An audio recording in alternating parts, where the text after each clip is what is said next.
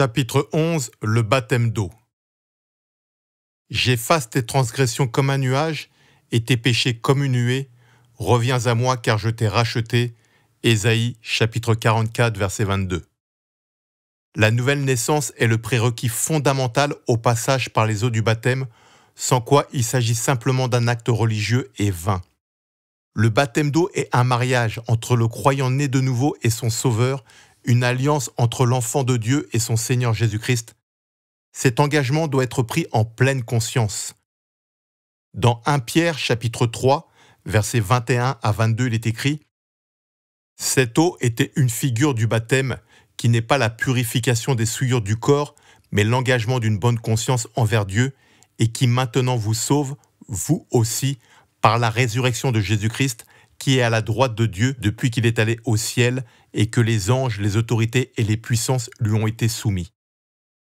Le mot baptême vient du grec baptizo qui veut dire plonger, immerger, submerger, purifier en plongeant ou submergeant, laver, rendre pur avec de l'eau, se laver, se baigner. L'étymologie du mot baptême contredit de fait le procédé du baptême par aspersion pratiqué par certaines confessions religieuses qui consiste à asperger de quelques gouttes d'eau la tête du baptisé. La signification du mot baptême sous-entend en effet une immersion totale dans l'eau.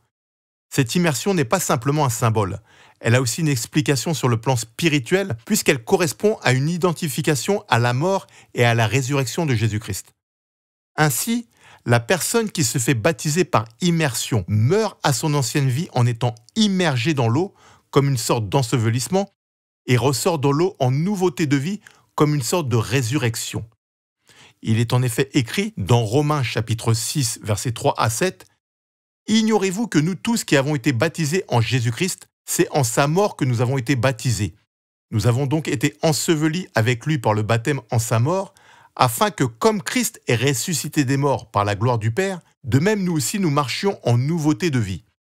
En effet, si nous sommes devenus une même plante avec lui par la conformité à sa mort, nous le serons aussi par la conformité à sa résurrection, sachant que notre vieil homme a été crucifié avec lui, afin que le corps du péché fût détruit pour que nous ne soyons plus esclaves du péché.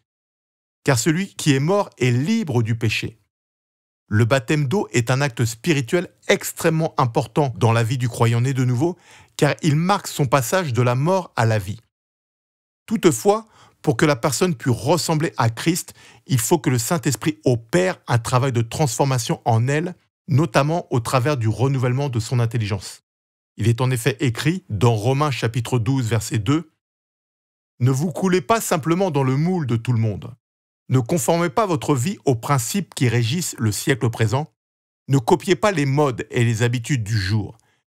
Laissez-vous plutôt entièrement transformer par le renouvellement de votre mentalité Adoptez une attitude intérieure différente, donnez à vos pensées une nouvelle orientation afin de pouvoir discerner ce que Dieu veut de vous. Ainsi, vous serez capable de reconnaître ce qui est bon à ses yeux, ce qui lui plaît et qui vous conduit à une réelle maturité. En conclusion, le baptême d'eau est l'une des décisions les plus importantes dans la vie d'un croyant né de nouveau parce qu'il représente son engagement avec Dieu devant les hommes et devant le monde spirituel. Lorsqu'une âme est sauvée, il y a de la joie dans le ciel.